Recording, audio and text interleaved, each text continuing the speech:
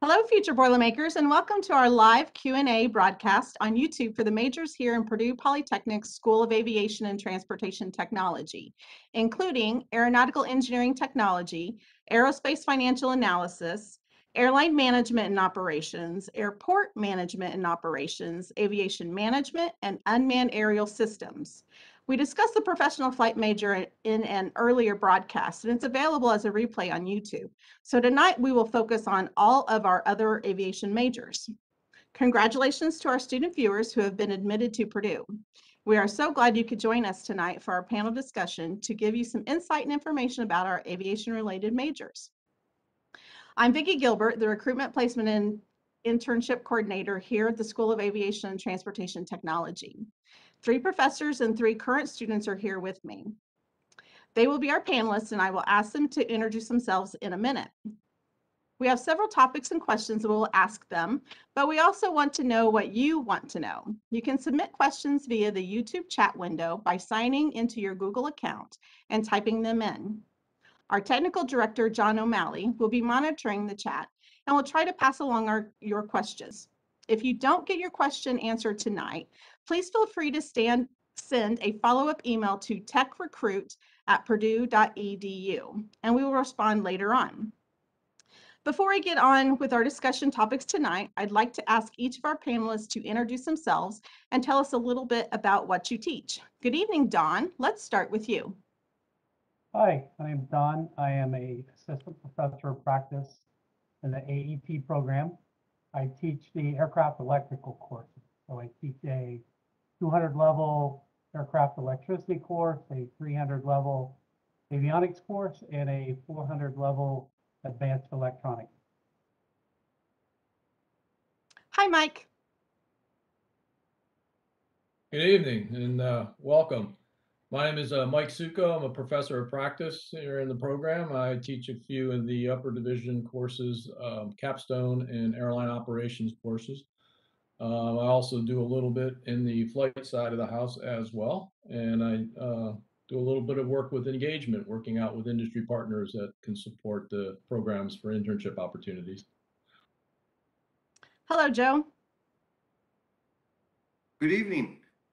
I'm Joe Hupy, and I'm a professor here in the aviation, and I happen to reside in unmanned aerial systems.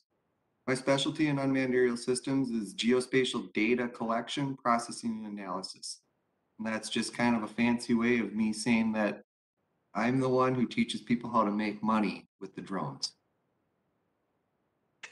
Thanks, Joe. For our student panelists, would you please each introduce yourself and tell us your year and where you're from? Dutch, let's start with you.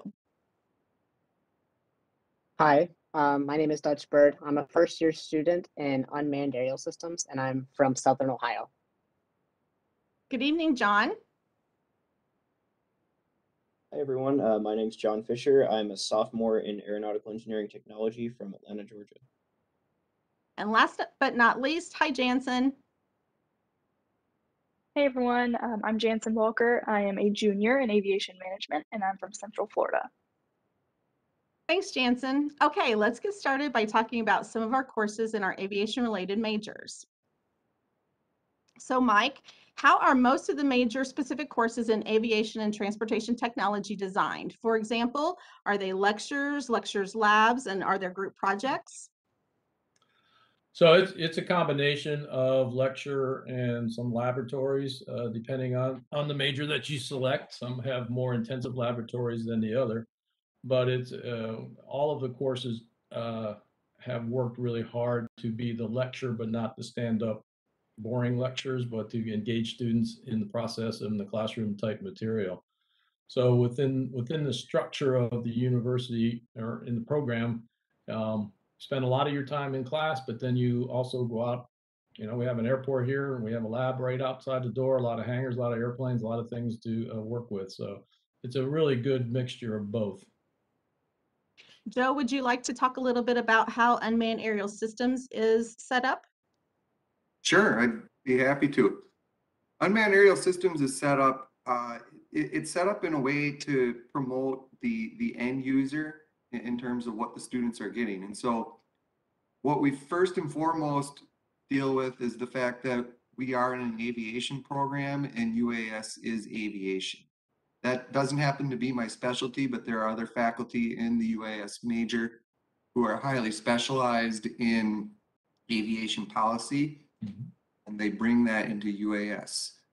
On my end, I'm affiliated with several other uh, groups on campus. Uh, I'm a member of the Integrated Digital Forestry Initiative group.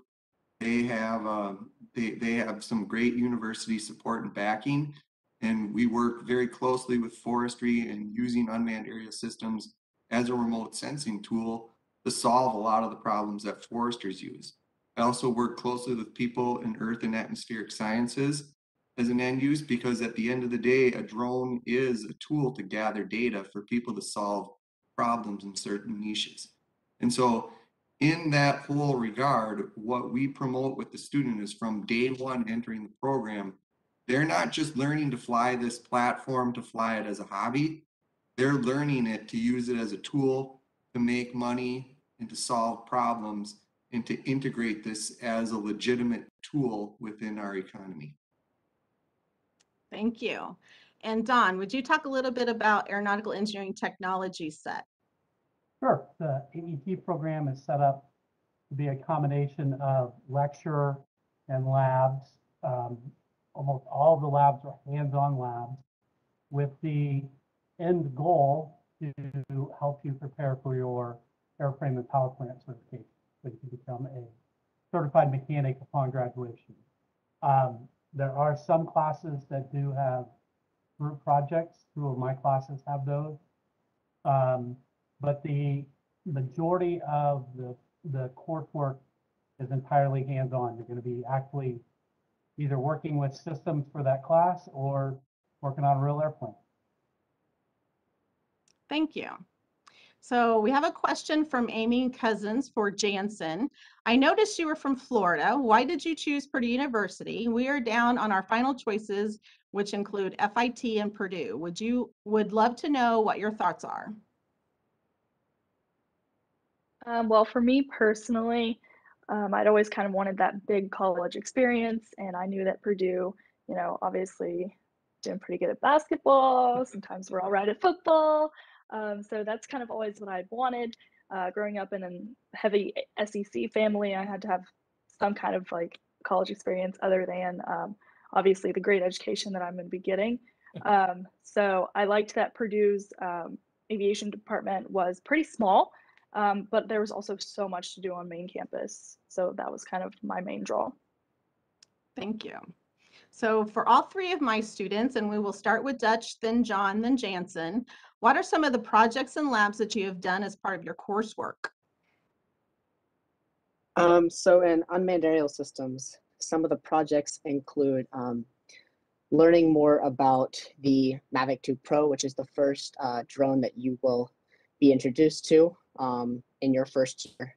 Uh, so we go through things from just like the fr- radio frequencies to the battery technology to the sensors on the drone. And then also you will have to log flight hours in a simulator. So that is on the computer, um, you're logging hours and basic flight maneuvers and different maneuvers to kind of get you uh, used to flying in drone. So that's in your first semester. Um, that's before you actually touch the drone at all. They just want to get you comfortable with actually flying if you have never flown before. Um, and then this this semester, um, we're focusing more on actually flying. So we'll go out and actually be able to fly the drone and perform those basic flight maneuvers um, in real life rather than just on a simulator. So yeah, that's pretty much uh, what the labs and projects are like so far. John? So in AET, we kind of go all over the place and inside airplanes. So we'll go into lecture, and then um, I've had a lab where we went out, get on it, uh, get into the cockpit of our Gulfstream G4, start up the APU, um, learn about all the systems on that G4. Um, I have a lab where I split a PT6 engine last week um, and did a full inspection of a PT6 engine where you split it apart, inspect all the components, put it back together. Um, in Professor Barnes's lab, we have full avionics mockups. So we have everything from steam gauges to a G1000 mockup to um, a Proline 4, which is what you would see on some of the larger transport category jets. And we'll go through full inspections of those systems, how the system works. We'll pull it apart, um, kind of look at the inner workings of of everything behind it, and um, kind of use that to get a better understanding of what's going on. So yeah, it's a lot of learning something in lecture and then going out and seeing it in person, pulling it apart, getting to touch it, play with it, do the inspections that you would be doing on it um, in industry. And Jansen? Okay, so obviously, since I'm in management, my uh, experience isn't going to be nearly as hands-on as John or Dutch's. Um, but I did have this class. Um, it was airport uh, management, where I actually uh, the guy who actually runs Purdue University Airport. Um, he was the professor for it, so we did get to do a lot of cool things on the airport. Um, get to see how they um, deal with birds. Get to see all of the um, um, firefighting equipment that we have. And in that class, we also had to do um, like an airport plan, and I did mine on Tampa International. But I still had to figure out how much snow removal equipment I would need. So I acted like Tampa would get the amount of snow that Milwaukee would get. And I had to kind of figure out, you know, what surfaces are going to be priority and how many snow plows am I going to need? How much salt am I going to need? You know, all that good stuff. Um, and then another thing that's kind of stood out as a big project um, was in airline management. Um, there was actually, I think it was, I think it was all in groups of three. Um, we actually ran an airline. Uh, we got to lease or buy the aircraft. You decided kind of what you wanted to do, what routes you wanted to take. Um, you know, what configuration of seats? Did you want spirit sized or did you want, you know, um, how much leg room you wanted? So it's a really cool experience to be able to uh, get like both sides, get into the airport side of things and into the um, airline side of things. In addition to that, Jansen, we have someone who's wondering, they're admitted into aviation management and what kind of laptop or um, computer equipment would be best for that major? Um, I haven't had to deal with anything too um, heavy on the computer side of things. Um, for the most part, all you're going to need is something that will um, do Excel and PowerPoint and Word pretty well. Um, and I know that uh, through the university, we actually have Microsoft Office. So on any computer, you can download that and use it off of the internet if you want to. So I haven't had any problems. Um, I have a Mac, so if that tells you anything. Thank you. So let's talk a little bit about the majors of our school. So Don, how is aeronautical engineering technology distinct from other engineering technology majors in the Polytechnic? Um, well, first it deals with aviation. Um, it's um, more of a hands-on type feature where um, students are going to get very intimate with some aircraft. Uh, they're going to get pretty touchy-feely with them. Um, the cool thing about AET is it doesn't limit the student to just being a mechanic um, by virtue of having that having that degree. They can be um, safety engineers. They can be quality assurance engineers. There's a whole whole variety of career paths they can take. Thank you. And what percentage of aeronautical engineering technology students actually take the airframe and or power plant exams? And what is the pass rate? And is it possible to take that exam after the sophomore year? Um, it we'll start with the last question first. Um, new students would be under the new plan of study. So their first two years of classes are going to be all geared towards their airframe and power plant certification. Um, it's not required to take that test or to become certified, um, but you're taking the classes, so why not? Um, the typically, I think there's about 60 or 70% of our students that are in AET that take that test. Um, and I have not heard of any student failing that. Excellent. Thank you. So Mike, we have a few majors, especially for students wanting to get into careers in management in the aviation industry, including airline management and operations, airport management and operations, and aviation management, and even aerospace financial analysis. What is unique about the Polytechnic approach to studying management?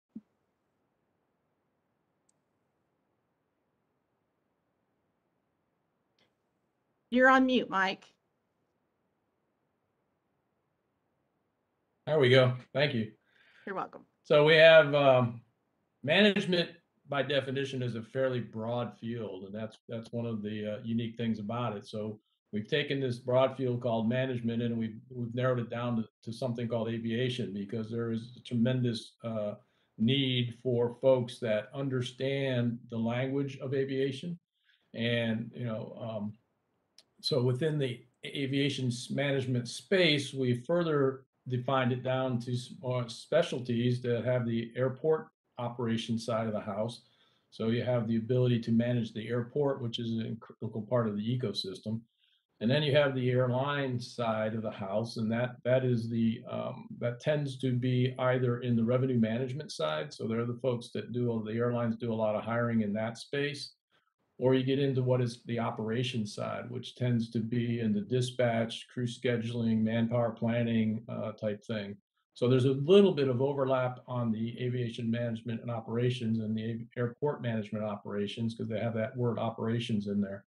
And you're still very much focusing on the uh, condition of the airfield or um, the state of the airplane and the state of the schedule, if you will. The third one that we added has uh, has been a response to industry, which has been the financial analysis degree, which has two kind of career destinations. We we work with an organization called ISTAT, which is the International Society of Transport Aircraft Traders, and uh, they're the folks that do the hundred million dollar deals on the phone without dropping a hat, um, buying airplanes, selling airplanes, doing uh, engine swaps and deals like that. And so that that group likes to have people and, and, can do the financial analysis. So they want to understand, do you know the difference between a 747 and a 737? You know, one's got four engines, one's got two engines. So they want to figure, you know, as long as you can speak that language, then we can we can teach you how to um, um, calculate the finance and, and schedule loans. We have several uh, students that have been extremely successful in in that space. So um, so the three derivatives, airport, airline, and, and, and financial analysis. And then the fourth one that is, it is uh, being actively recruited now is in, is in consulting. A lot of folks will take any of these skill sets and go into the consulting space uh, to help out. Uh, Oliver Wyman is a group that's coming in uh, at the Career Fair Day in two weeks to do some, to do some uh, headhunting, which is a good thing for students. Um, so there, there's a tremendous bit of opportunity in all four of these domains, um, all within that space called aviation management. Thank you. Joe, um, unmanned aerial systems is a major we have offered since 2015. Would you please give us a quick introduction to unmanned aerial systems and how soon and how often do students get to fly unmanned aircraft? Well, I'm gonna let uh, Dutch follow up with me on this one, but I, I, and I'll also give Dutch a little insight into the future, but the unmanned aerial systems major has um, really undergone some significant changes in, in terms of really working closely with industry groups and people out there in the end user community in terms of what it is that we should be teaching in this program. And, and one unmanned aerial systems first was developed here in, it was developed here before I came here in 2018. It was structured a little bit differently than the way that we deliver it now. In that before there was, there was a large focus on the building of the platforms. And well, the, the, the, the ability to build the platforms and understanding the components of the platforms is, is, is a really good thing. One of the, one of the biggest, uh, one of the biggest advantages out there is, is not so much knowing how to build these platforms, but knowing how to integrate sensors on the platforms and also knowing what you can do with the sensors. And so where I'm going with this is that in that first year, as Dutch was attesting to, the students really focus first on the simulators. They really focus on understanding the, the aviation background in terms of airspaces and, and being able to fly safely and effectively in areas that what someone who gets that commercial UAS license through some online vendor might not have that insight into. Because yes, someone who's 16 years old can get a 107 license, but someone who's 16 years old might not have that insight to be able to apply for that waiver, to fly above 400 feet, fly beyond line of sight, to, to be able to know how to fly at, at night using a thermal sensor. And so what, what I'm saying with this is that by the time the student gets into the 200 level, they're really going to start focusing on a lot more flight and they're going to move beyond the Mavic 2 Pro and they're going to start flying some larger and a little bit more glitzy platforms than what they were flying at that, that beginning level. Now, by the time they get to me in the 300 level, what I'm what I'm doing is I'm telling them I'm teaching them GIS. I'm teaching them geographic information systems. I'm teaching them remote sensing. And the beauty of this program is that a lot of what I'm teaching in GIS can relate to people in aviation management because a lot of what is going on, someone can use that GIS look at how to effectively manage an airport using UAS. For example, flying it and detecting cracks in a runway, flying it and detecting that tree that's at a higher level. So at that 300 level, the students now know how to fly, but they're not just going out there to fly. We're not we're not out there to teach them how to fly in a drone race. What we're doing is we're teaching them how to go out and fly for a major company like Amazon. We're teaching them how to go to a place like Harvard. I had a former student who's now a PhD at, stu- at Harvard in ecological sciences, and he's in Africa, and they're they're doing a lot of work with with wildlife. And one of the things that he was saying is how instrumental he is because not only does he know how to fly safely and effectively, he knows how to fly these lidar platforms, be able to gather that data and come home and know that they don't have to go to Africa and fly it again. So by the time they get to that 300 level, they're going to be going out and they're going to be flying thermal imagery. They're going to be flying multispectral cameras. They're going to be flying high resolution cameras. They're going to be gathering information that's down to the precision of sub centimeter, which is really important because when you start flying for that engineering company, such as Ayres, when you go out and fly for Michels Construction, which is a multi hundred million dollar company with hundreds of millions of dollars of inventory across the country, flying everything from pipelines to utility lines, you're going to know what sensor to deploy and how to deploy that sensor, and you're going to make that company very happy. And then by the time they get into that 400 level capstone or to take that entrepreneurial class, that student in that capstone class is going to be able to work in the capacity of doing some what I'm really excited about this semester is that we're doing some really fun research where we're going out and we're looking at all different ways of establishing what's called control in UAS by using everything from survey GPS, putting out these markers, to using on the fly correction technology, to post correction technology to kind of figure out what is best. Those students then not only are flying that, they have all that information, they are also creating an e-portfolio.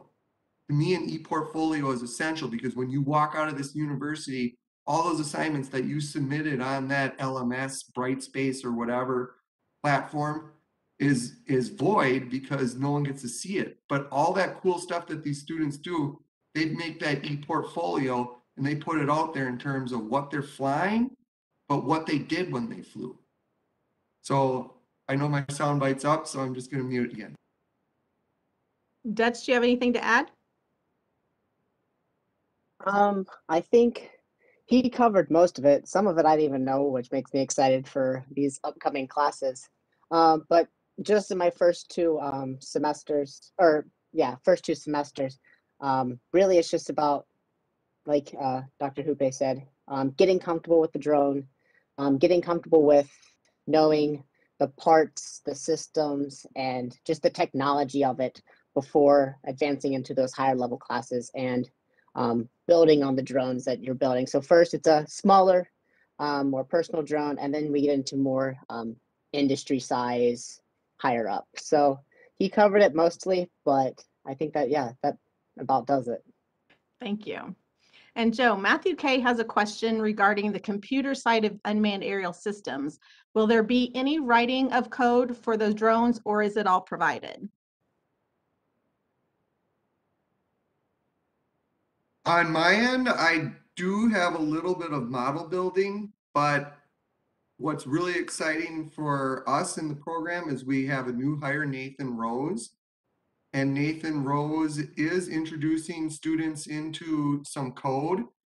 And he's using, I'm going to put a plug in for my wife, Christina Hupy here, who is with GitLab.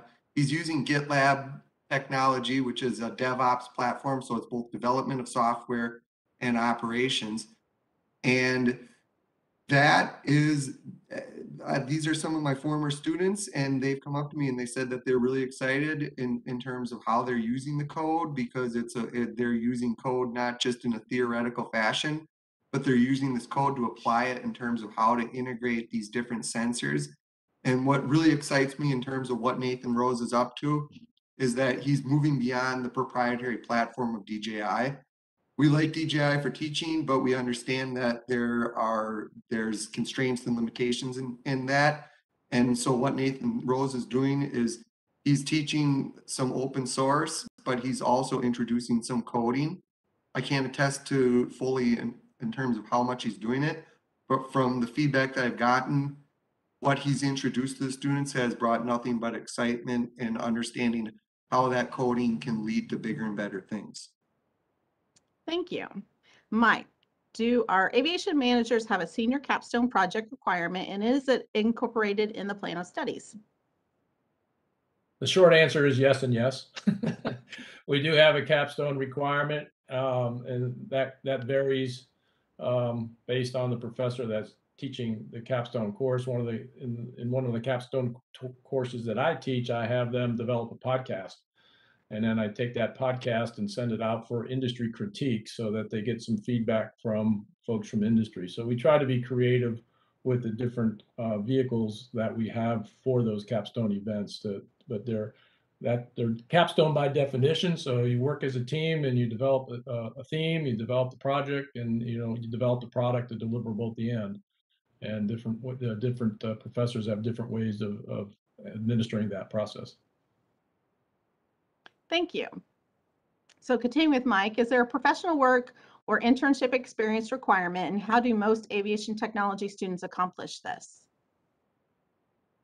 So yes, within the, the School of Aviation and within the Polytechnic, there is a, a, a requirement for an internship and um, they can be met various ways. One of the things that I do within my engagement is to um, meet with companies and uh, help them understand and connect uh, with us so that they uh, advertise the internship opportunities.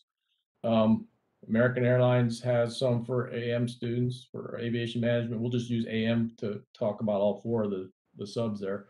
Um, to go down to uh, Dallas and, and work in, in the revenue management side for an internship. We've got some with Southwest, we have some with United, we have so we have a lot of internships. We have some with, as I mentioned earlier, Oliver Wyman in the consulting as an analyst. Um, I'm talking to a helicopter company that wants to do one for AET. So there, you know, internships. And as we are coming out of COVID, uh, we are getting more and more requests and uh, and for that and opportunities for students to take advantage of that. The the the uh, COVID times have definitely put a damper on the experience for a couple of years, and there were a lot of virtual type internships. But we are now getting a lot of interest and activity to get the physical internships back back in place. Thank you. So I'm going to go to Don and then Joe to talk a little bit about the company connections and industry partners that Aeronautical Engineering Technology and the Unmanned Aerial Systems have to help support students. In uh, AET, we have our industry partners are uh, GE and Rolls Royce, Collins Aerospace, and Pratt and Whitney. Uh, pretty much anybody that supports aviation type program, we have partnered with in some way or another, either through internships or having them donate lab equipment to us that we can use, or having them come in and talk to classes about what the students need to be looking for, or what they should be doing professional development. And Joe? Yeah, so one of the things that I really pride myself on, and this goes back to when I was in Wisconsin before coming here, is the close connections that I maintain with alumni. And a lot of the company connections that we have are through my connections with with our with with former students. And so even to this day, being at Purdue, I the connections that I have with former students lead lots of opportunities to the graduates that we have here getting jobs with the companies that those students are placed in. For example, just today, there's a, a, a ground control point technology called Propeller AeroPoint, and those are these uh, markers that are placed. They were developed in Australia for the mining world, and I had a student who is now a supervisor there contact me and say that they needed some people who were tech savvy with UAS and with uh, ground control points to join their support team. And he more or less said, you know, I'll go on your word in, in terms of who you can recommend. And I put that out to some students, and they are now reaching out to this company. Um, I also have some pretty good relationships with some UAS providers. Uh, this could be anywhere from someone who develops uh, a technology for gathering information at a high precision in North Dakota to having a really close relationship with a company called C-Astral. Right now, the program is working on establishing an internship program with C-Astral to where we can get our students who are going to work on servicing the platforms and also on, on basically providing training.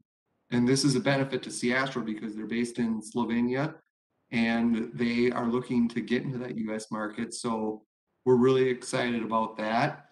Um, just across the board in terms of putting students into companies that work for some of these major construction companies like Michels, all those relationships are maintained.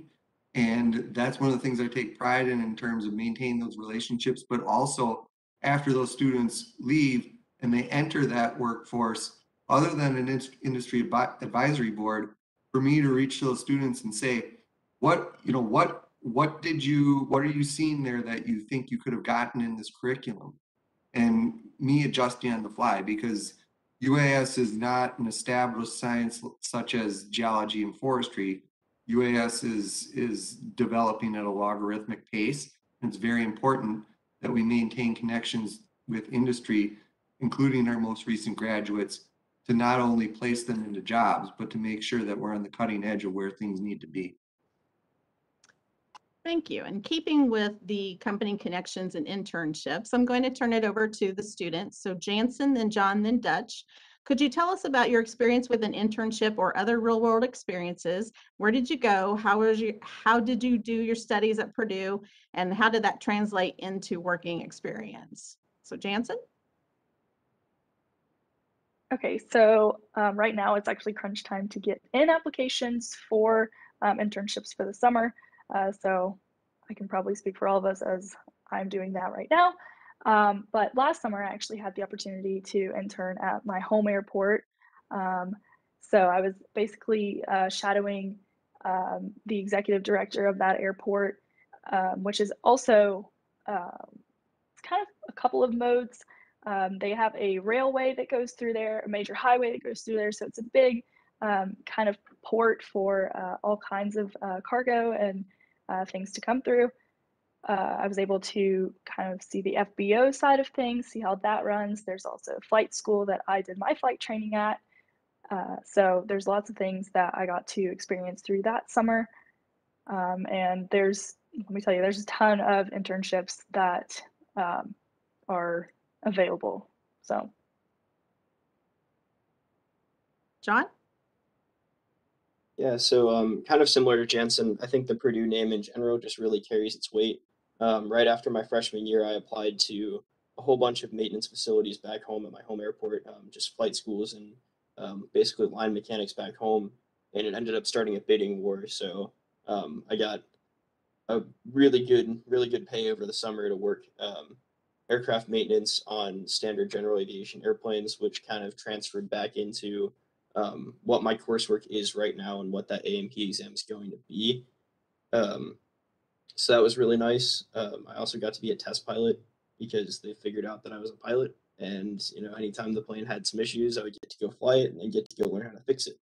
Um, in addition to that, um, just kind of going on with how Purdue carries its weight in gold. Um, I'm currently working with a small cargo company called FedEx. So hopefully in the next two weeks, there's a um, partnership going up for approval in front of corporate.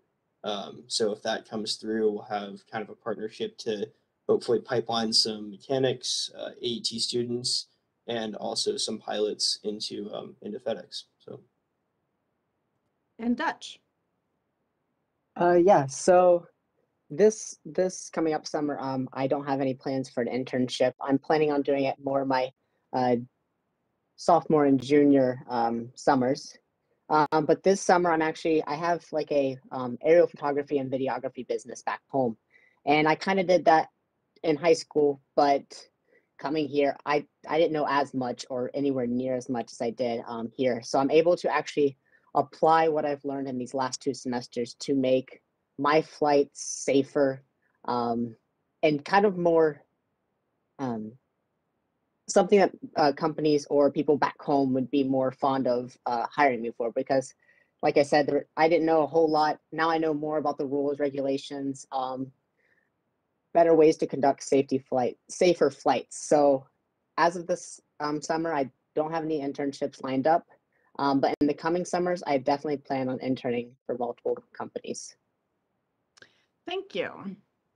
So Jansen, I'm going to turn this over to you as you are an aviation management student, but you also are a pilot. So can you talk about how you are making that work with your courseworks?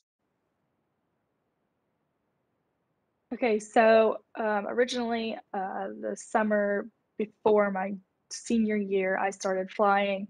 Um, and through that course of that year, I was able to get my private license. So when I came into Purdue, um, I had my license, and I honestly have not really flown that much since, sadly. Um, I did last semester try to uh, start back, like back on my instrument uh, here at Purdue Aviation, which is not affiliated with the university, um, but it is on the like airport. So if that is something that you are interested in, I know that John also flew there. Um, so he's done a lot more than I have. Um, but uh, you can definitely uh, do it. I know plenty of people who just kind of work it into their schedule like it were a class or a lab um, here at the university. Um, obviously, it's not exactly the same as being in professional flight because you know you're not going to get it be getting that restricted ATP with the 500 hours shaved off. Um, but it is if you're still looking or you still want that door open to possibly be a pilot in the future, um, it's a good way to do that. You can definitely juggle it all if you really try. John, would you talk about your experience? Sure. Um, so I came into Purdue with my instrument rating, private and instrument. Um, and since I've been here for the last two years, I've worked through my commercial license, my commercial multi license, and my CFI certificate.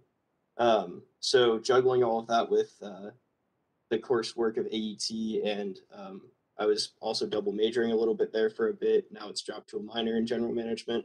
Um, it's doable. It's definitely difficult, and you know you have to put school first. But professors in the program, in the School of Aviation in general, are usually pretty understanding, and then also everybody, um, instructors at Purdue Aviation are usually students or have been to Purdue or are familiar with how Purdue works. Um, so they are all pretty understanding of schedules and pretty flexible.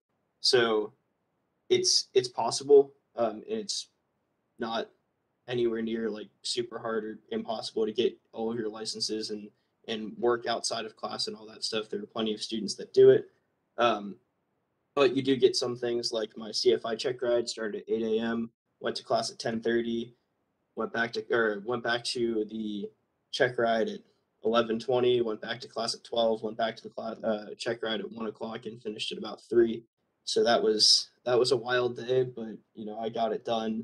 The DP was understanding, worked around my schedule. I worked around his schedule. So yeah, it's it's doable. It's a lot of fun though. Thank you.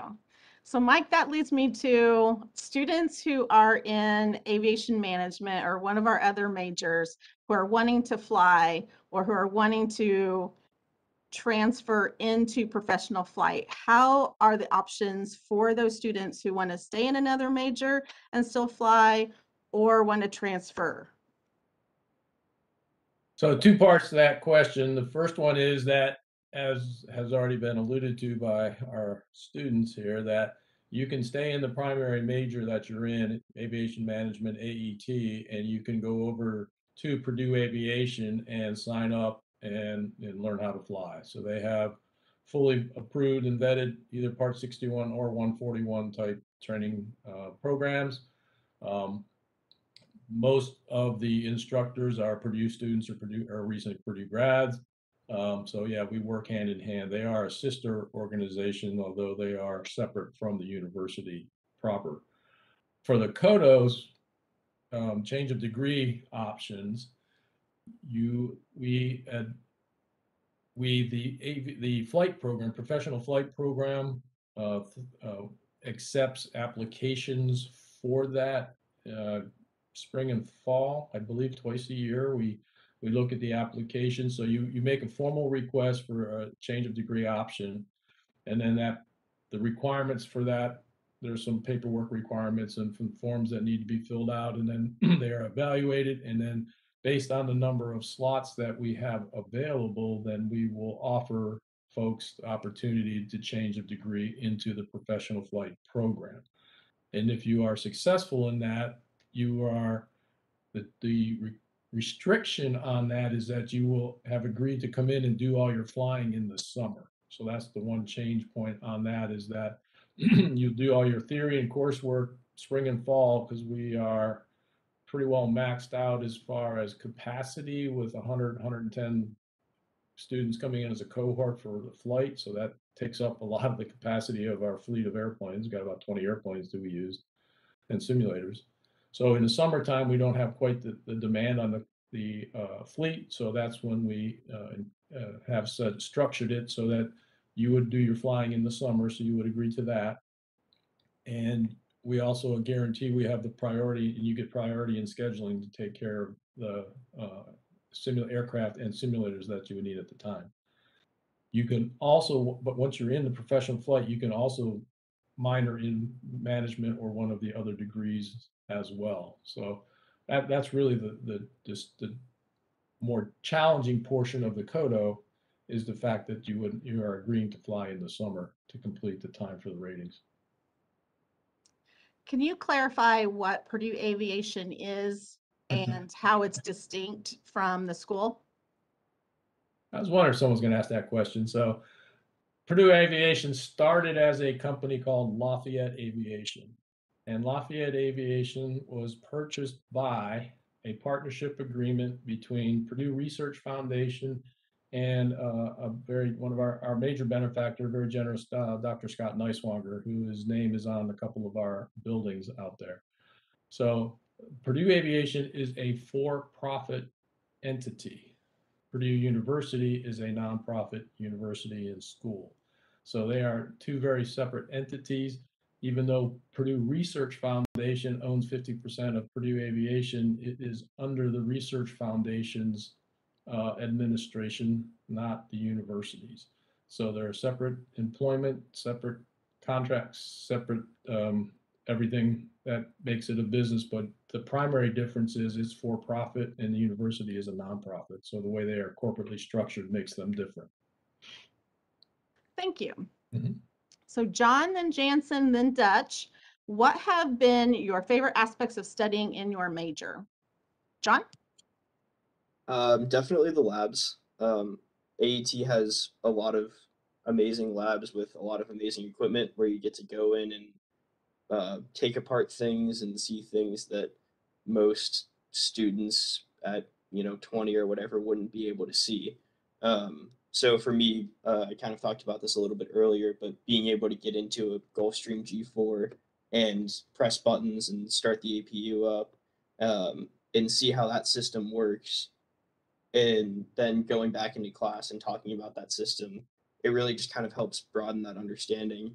Um, and then additionally, um, kind of like I talked about before as well, having access to um, high-end avionics that you would see in industry and being able to get that hands-on experience and hands-on training prior to getting into industry so you kind of you have a massive leg up if you do decide to go into industry for uh, maintenance or a safety engineer or quality engineer anything like that Jansen? So, like I had said earlier, with the projects and things that I've done, um, I think that those really helped kind of have help me have a better understanding of how things actually work in the industry and get some, you know, hands-on experience as much as I really can. Obviously, I'm not going to be making my own airline and everything, um, but it was a super cool experience to kind of figure out, okay, if I do this with the prices, how many tickets are going to get bought and which um, routes are going to be most profitable. I really enjoyed that. Um, I also really enjoy um, getting to know all of like the policies and things like aviation law and also like the revenue uh, management side of things. Um, I've had a couple of like economics classes that, and how that relates to aviation and the decisions that Delta versus United have been making. Um, and you know mergers like Frontier and Spirit that's going to be coming up uh, things like that. It's super cool to see like how numbers like play into that. So And Dutch. Yeah, I'm gonna have to agree with John. I I really um, enjoy the labs. The lectures um, are really awesome too, um, but it's really about applying the knowledge that you learn in lectures to the labs. And I like I'm more of a hands-on type person, so obviously I like the labs. And um, I'm super excited for actually being able to fly the um, drones this semester. Last semester, the simulators were um, a lot of fun, but it just made me want to even to fly the drones actually um, even more. So with the major, I definitely would say the labs for hands-on experience and just being able to physically interact with the drone and all that. Thank you. And staying with the students, Dutch, then Jansen and John, what organizations are you involved in that are related to the major and then outside of aviation? Dutch? So relating to the major, um, Aviation Ambassadors is one of the organization organizations I'm a part of. Um, so what we kind of do is, well, this is an example, getting to talk to um, future students. And what we do here is more take students on tours, um, be, being able to show them the facilities and answering questions. Um, another organization I'm part of is we are currently in the process of making or getting a drone club up and running. There was a drone club that was started. Um, I think it's kind of faded since then. Um, so we were trying to revamp that and trying to make it bigger again. Um, and then also dealing with outside of my major, my um, main thing is run club. I'm a huge um, runner. I was a runner in high school and I enjoyed it so much. I'm not fast enough to be on the D1 team, um, but so run club is an amazing option. Um, there's guys on there that are way faster than guys on the D1 team, which is pretty crazy. And something nice about Run Club is it's just a group of everyone that just loves running and just wants to just have fun with each other. And um, something I like about it is it's not as time demanding as maybe the D1 team would be. So yeah, those are my organizations. Jansen? Okay, so obviously I'm also an aviation ambassador. Um, with that, like you said, we give prospective students a look into our lives and our facilities. Um, also, I had the opportunity to represent the university at Oshkosh last year. So if anyone knows what that is, huge plane uh, festival basically. Um, so that was really, really cool. Um, beyond that, I'm also an aviation technology uh, student council member. Uh, basically, we try to foster a good relationship between faculty members and students, as well as we are the ones who host the um, career fairs. We're, we had one in the fall and we're having one uh, two weeks from now. Uh, so that's something that we really like to push. Um, I'm also on the executive board for Purdue Aviation Day, which is going to be um, an uh, event that we have out at the airport. We're expecting like 10,000 people to be there. So I'm going to be herding cats all day uh, with my volunteers. I'm in charge of uh, when and where all my volunteers are supposed to be. I'm also in Women in Aviation. Uh, our biggest thing, really, that we do uh, is Girls in Aviation Day, and we just kind of try to um, let girls know that they, they do have a place in this industry um, and get some exposure to it out here at the airport. Um, beyond that, I am also um, in Greek life, so I'm in a sorority. Um, I was the vice president of philanthropy, and I got to do some really cool stuff through that, raise money for um, our national philanthropy. Um, and beyond that, I was also on uh, kind of strange, but I was also on the livestock judging team for Purdue um, last year. This year, it didn't really fit in my schedule, um, but you can really be involved in whatever you want to be involved in on campus. So, And John. All right, so there's no way I can top that, but um, I'm a member of Aviation Ambassadors, and just one thing to add to what Jansen and Dutch said. Um, in addition to giving tours and talking to new students and prospective students, we also have opportunities to go meet with um, industry professionals, go tour facilities. Um, I know we just went and toured Republic, um, so that's another great opportunity being part of Aviation Ambassadors. In addition to Aviation Ambassadors, I'm part of Alpha Eta Rho, which is our aviation professional fraternity on campus. Um, again, that's just a group of people that get together and you know talk about aviation, um, go tour uh, facilities working on touring FedEx and United right now, um, and then just kind of sharing our love of aviation. Outside of aviation, um, I'm a member of the sailing club, which is interesting because I'm from like very far from any coast um, and don't know how to sail. But it was it sounded cool, so I joined it.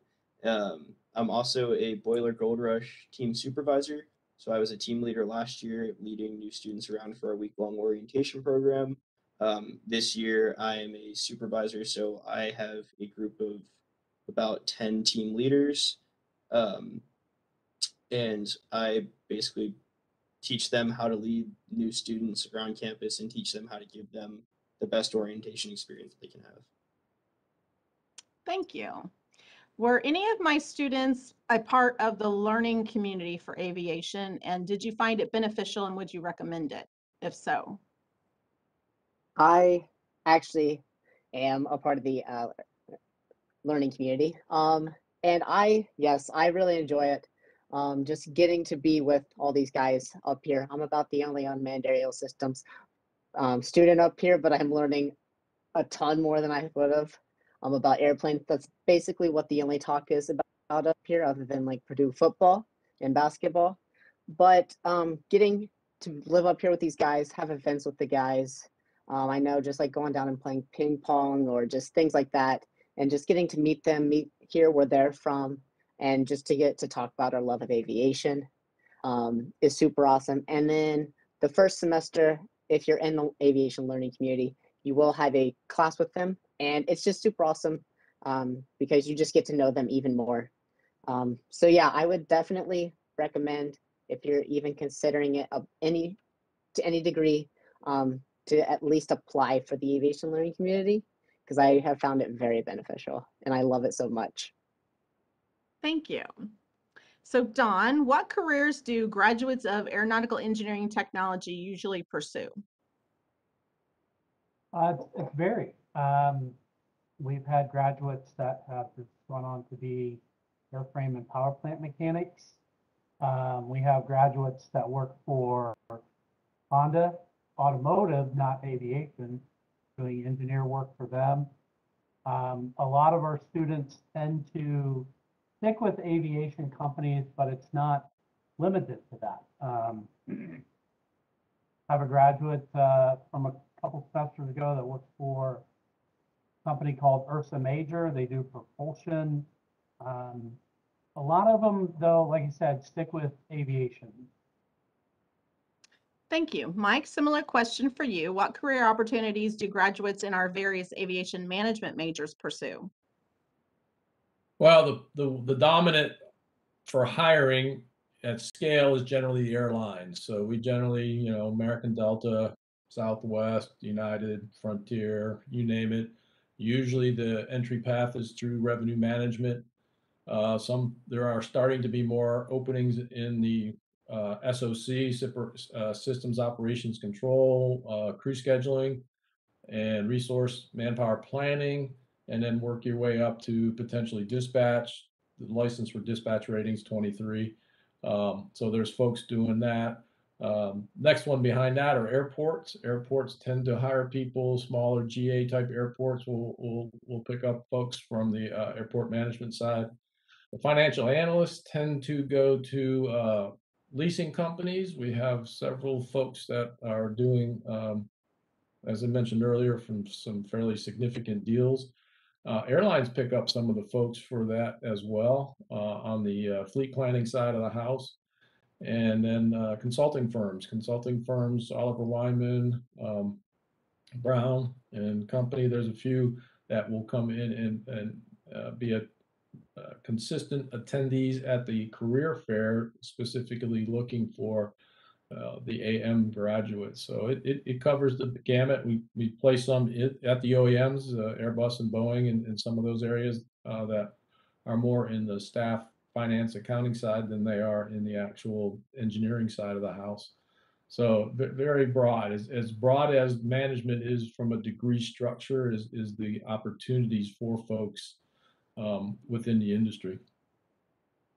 Thank you. Joe, same question for you as well. What careers are out there for graduates from unmanned aerial systems? Yeah, it, it, it really depends on the, the avenue that they want to take in, in unmanned aerial systems because there's, there's the building end of it. The largest, the largest segment that I see students going to is that end user community. But then there's also an R and D component of it that uh, some students go into. So I've had students go to a company called NTT Drones, which is uh, more or less a tethered drone company where they take a DJI platform and they take the, the brain out of it, out of you, if you would, and they put in open source so it can fly critical infrastructure. Some students go into that end user construction community. I had a former student who is now with Amazon. Another student is in the R and D segment of UAS and they're with NASA.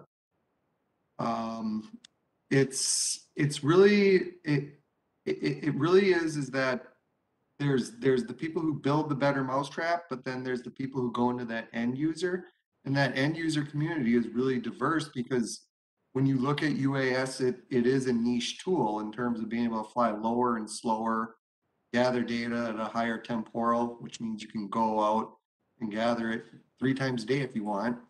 And it also has that higher spatial resolution. So if a company is looking to use a tool, whether or not it's a thermal sensor, a multispectral sensor, an atmospheric sensor, in the case of NASA, then they're going to use that technology. So I I guess that, you know, kind of alluding to what Mike was getting at is it, it there's there's a couple of different paths.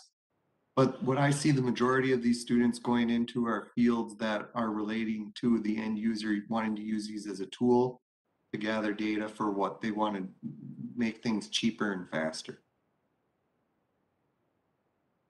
Thank you. So Don, what kind of research projects and opportunities for AET students do we have at Purdue?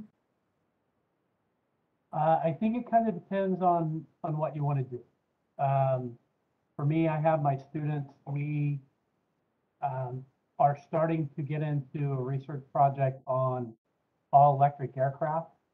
And how can we have an all electric aircraft that is capable of flying from the US, say JFK to Heathrow? Um, what do we need to overcome to make that happen? Um, other professors, they, they have their own research that they're doing. Um, I know with COVID, it kind of brought a standstill to some research. There was still some going on, but um, it's starting to pick back up. So it just kind of depends on what the student's interest is. what they want to do. Thank you. So last question for our students. What advice do you have for future aviation technology students to be successful? Jansen? Uh, definitely, wherever you end up going, get involved. That's how you're going to make um, friendships and um, connections that you can use throughout your or throughout your careers. Um, it's fun and it you know it gives you like experience public speaking. You know, learning about different um, sides of the industry. So definitely just get involved. Dutch? Yeah, I think with um, getting involved is a big one. And I think um, something that I've done is also just make sure I like to sit close to the front of the classroom. Also, um, just kind of take a moment and like introduce yourself um, to professors or just faculty member because I think putting yourself out there and letting them put a face to a name um, can be definitely beneficial in the end. So even if that may be uncomfortable for you, I would definitely suggest um, just putting your name out there and introducing yourself to your professors. It be it can benefit you in the long run. And last but not least, John. Uh, yeah, so ditto to basically everything so far. Um, get involved, get involved in something that's related to your major. Get involved in something that's in something that's not related to your major, um, and get involved in something random like sailing club. Um, it just keeps your mind. You can do school, but then you also have um, opportunities for breaks outside of school, opportunities to meet people outside of your major, outside of your industry. Um, also, just get to know your professors. Um, the more your professors know you, the more they're willing to help. Um, I've had COVID twice, and knowing my professors by name has really helped me kind of get back um, after quarantine. And then also just ask, like, ask for anything. Um, like I kind of mentioned earlier, I'm working on starting a partnership with FedEx right now uh, between Purdue and FedEx, and that was based off of a random email that was sent to like the FedEx frequently asked questions email, and it just got sent up the chain because somebody said, "Hey, this kid from Purdue thinks that this might be a good idea," and it kind of sounds like it might be, and it just kept getting sent up, and then somebody who had some authority said, "All right, let's get on this. Let's see if we can make something happen." Um, and then my last piece of advice is wherever you go, whatever major you happen to choose, um, do orientation. Um, do the orientation program. If you come here, do BGR. Um, it's a great opportunity to meet people, get out of your comfort zone, and kind of make that switch from living at home, being in high school, to being on your own, being in college, um, and kind of starting that new life. Thank you. That about wraps up our discussion tonight. Thank you again to our viewers for joining us and submitting questions, and we hope you gained some good insight about the majors in Purdue's School of Aviation and Transportation Technology. Thank you again to our awesome panelists for joining us and sharing their insights and experiences as well. And thanks as well to John O'Malley, our technical director, for all the behind-the-scenes work. As I mentioned before, please feel free to send us an email at techrecruit@purdue.edu if you have any additional questions for us about the school, the Polytechnic, or Purdue. If you haven't already joined us for one of our admitted student information sessions or student-to-student chats, we still have several of those coming up in the near future. We have a YouTube broadcast coming on April 13th, 2022, that will focus on student life at Purdue University for all students admitted to the Polytech majors. You can find information for all those engagement opportunities on the Polytechnic Admitted Student Information page. As a reminder, we had a broadcast that focused exclusively on our professional flight major back on February 28th, 2022. A replay of that broadcast and all of our other broadcasts are available online at polytechnic.purdue.edu slash live. Just as a quick reminder, your deadline to accept your offer of admission is May 1st. Thank you again all for enjoying it, for joining us and have a great rest of your night and boiler up.